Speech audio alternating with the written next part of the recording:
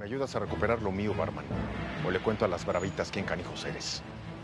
¿Ya no te quieres casar? Lo llamé porque tengo un tema muy importante que discutir con usted. Tiene que ver con el reacomodo del personal. Yo soy su verdadero padre. Él la crió. Ten. Dijimos muy claro que no trabajábamos con casados. Y lo siento mucho, Fernando. Pero estás despedido.